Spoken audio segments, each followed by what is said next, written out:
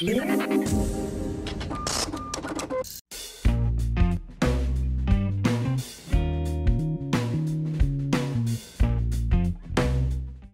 una cosa muy clave y es que mm, a los físicos y a los matemáticos nos enseñan a resolver problemas, problemas muy complejos desde el punto de vista académico, desde el punto de vista de la ciencia y más bien de, mm, digamos, de resolver problemas que en realidad no existen.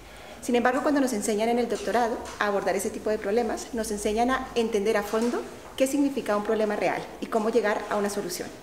En el caso de los problemas urbanos, creo que la metodología es la misma, es entender el problema a fondo, entender cuál es el tipo de solución que podemos construir y a partir de ahí generar mm, nuevos proyectos y nuevos servicios para los ciudadanos. En particular, ¿cómo se aplicaría la inteligencia artificial? Pues pensemos en una ciudad. Una ciudad es un ente con gran cantidad de puntos conectados, eh, puntos Wi-Fi, sensores, eh, puntos de temperatura, gente que se mueve con el teléfono móvil, aplicaciones web a las que la gente accede, la, propia aplicación eh, web o móvil del propio ayuntamiento o el propio, la propia ciudad.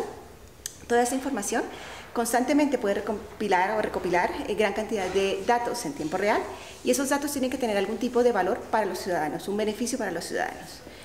Grandes compañías ya lo están haciendo, por ejemplo Google o Facebook utilizan esta gran cantidad de información para generar datos sobre nosotros mismos.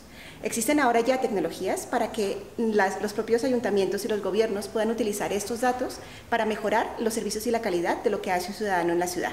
Por ejemplo, un sistema Big Data analítico en tiempo real puede saber los turistas cómo se mueven, cuáles son las afluencias, cuáles son los mejores lugares para visitar y cómo manejar a nivel económico ese tipo de acciones que son interesantes para la ciudad. Yeah.